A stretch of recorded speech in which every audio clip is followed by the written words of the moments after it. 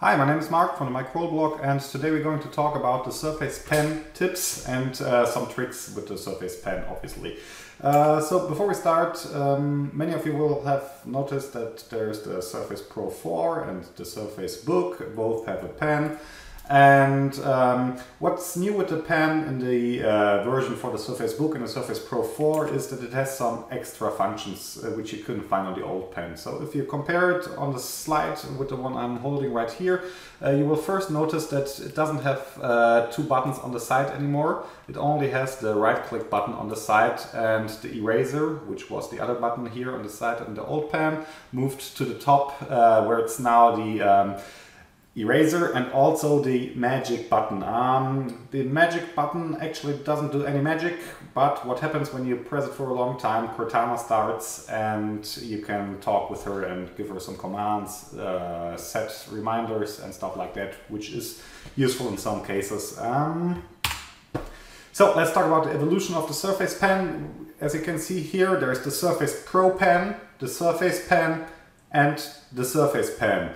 Um, the Surface Pen and the Surface Pen uh, both work on the Surface uh, Pro 3, on the Surface 3 and the Surface Pro 4.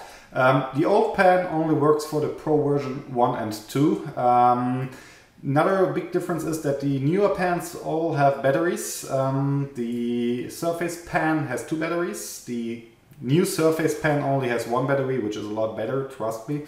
And which is also what also is new is that the Surface Pen now comes with a tip kit. And the tip kit basically um, makes these little tips here in the uh, front of the pen uh, changeable. And you have four different uh, four different tips um, in different um, hardnesses. So there is the very hard pen tip and the very soft pen tip and um, you can change to the tip which you like most. Um, I looked it up on the internet and what I found so far is that many people who do a lot of technical drawings prefer harder tips and when you're sketching like uh, doing some art stuff and that you prefer the much softer tip. Um, if you go for handwriting you probably are best served with the uh, regular pen tip which has the usual hardness of um, I think it's the HB one but I'll have to check it and I'll post it down in the comments. Um, so that's the different tips and why does this is interesting and why the Surface Pen is the best thing about the Surface, uh, I'll show you in this quick demo. So here we are on the desktop of my Surface and I try to think about some use cases where the pen really is handy. And one thing, for example, is when you want to meet with a friend here in the city of Cologne, near the Cologne Cathedral, and you just want to uh, send them an email where to meet. You could probably use the new integrated handwriting mode into the Microsoft Edge browser and just uh, say, okay, this is the Cologne Cathedral, just, just say Col Cologne Cathedral on German this time. And you want to talk about the meeting point. This is uh, you can see that is the main station main station. And when he comes out he all he has to do is he has to go here here over the street and this will be the meeting point.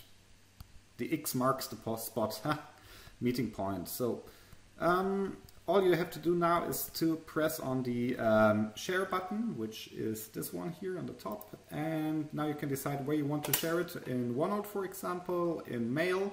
Uh, you can send an SMS, which will be really cool when the Windows 10 mobile is there. And just go with the email for this time.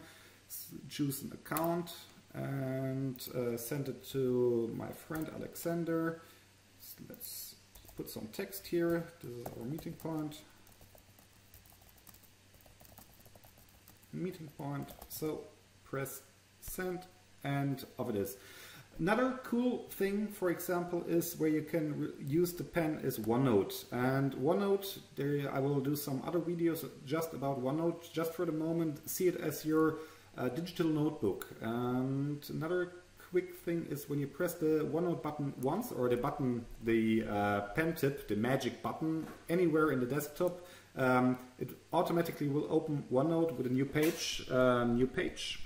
And as you can see here, what I do is it's uh, I can draw and I can write and uh, take some notes And although this may not seem that spectacular at the moment, it really is when you get the hang to it. Because what you can do is you can uh, drag and drop your handwriting after you wrote it. This is really cool. Um, you can do a real lot of stuff with it. For example, here are some meeting notes. You can take photos, integrate them, uh, mark the photos um, like I did in this presentation here. Um, did a lot of screencasts. Who was a person talking? Here another screen clip. And yeah, this is basically what you can do with the pen. There are not a lot of other stuff where you can uh, use the pen really useful. For example, Photoshop. Um, you can annotate PDFs with Drawboard and so on, so on. Um, the pen really is cool. I hope you get the idea right now what you can do with the pen and uh, what the different pen tips are for. If you have any questions, don't hesitate to ask me and uh, write a comment. Thank you.